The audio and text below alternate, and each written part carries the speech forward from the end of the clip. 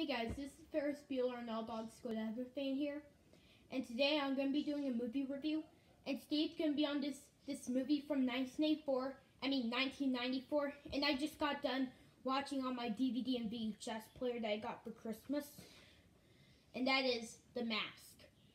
Now the plot of this movie is, is where is where you got this this this guy named named Stanley Ipkiss, played by by Jim Carrey, and he works at this this business company and he discovers this this mask from the water and then while while he puts the mask on he has these powers like like like when he put like like when when the mask gets put on like like it spins he spins like a tornado and then and then his head turns green and then he got these funny moments with with the mask like like like he got that quote smoking yep.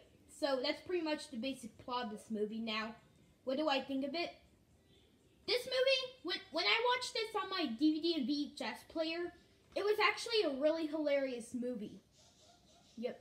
Yep, I, yeah, I, oh, I laughed so hard, like, like, like during the scenes. Yeah. So, here I have the 2005 DVD right here. Yep, says From Zero to Hero.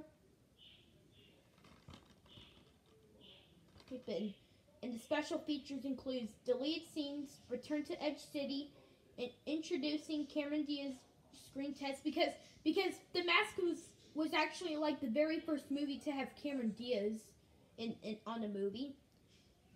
Ca cartoon Logic. Um. Oh. Oh, and I, one thing I when I I think at the end of the plot I forgot to say that he turns into a cartoon character.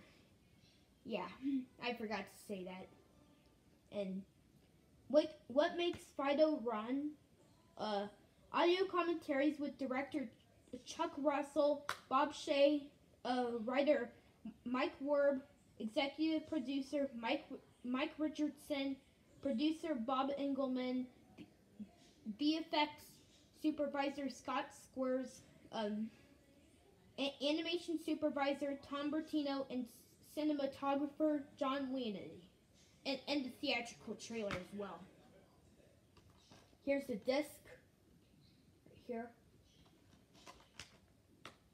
But yeah, the, the, the voice acting was really hilarious in this movie. Like like how Jim Carrey does a really does a hilarious job as as um as um as Stanley Ipkiss and yeah, but, and Cameron Diaz is is in this movie. She does really good as as Tina in this movie, and others do great as well and hilarious.